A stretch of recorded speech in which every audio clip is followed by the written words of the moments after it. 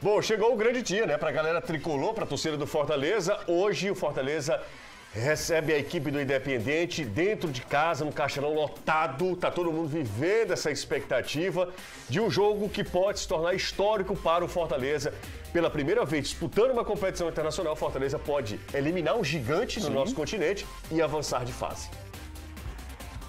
Quinta-feira, 27 de fevereiro de 2020.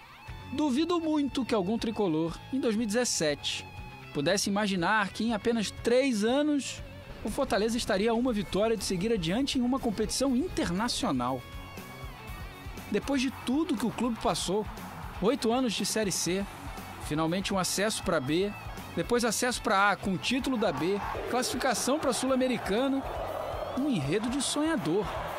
Mas na realidade, é a realidade. A cidade toda está esperando por esse jogo, nosso torcedor.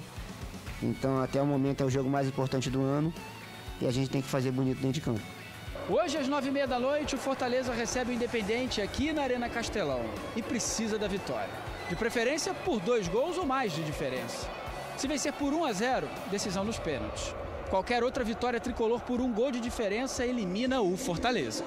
Agora imagina aí, como é jogar uma partida em que você sabe que precisa de dois gols de diferença. Porque uma coisa é fazer 2 a 0 naturalmente. Outra coisa é ter que fazer 2 a 0. A gente precisa ter equilíbrio, né? É, que não adianta só atacar e não se defender. Então temos que ter equilíbrio, é, muita concentração, minimizar os erros e ser cirúrgico lá na frente. Quando tiver uma oportunidade, tem que colocar para dentro. Claro que o Fortaleza treinou pênaltis nos últimos dias. Por mais que uma decisão desse tipo envolva um turbilhão de emoções, é preciso estar muito bem treinado na hora H. Hora que pode consagrar os goleiros. Eu acho que é um, dos itens mais difíceis do futebol. É a responsabilidade de quem bate o pênalti e mais ainda de quem defende, porque não é fácil nem bater nem defender.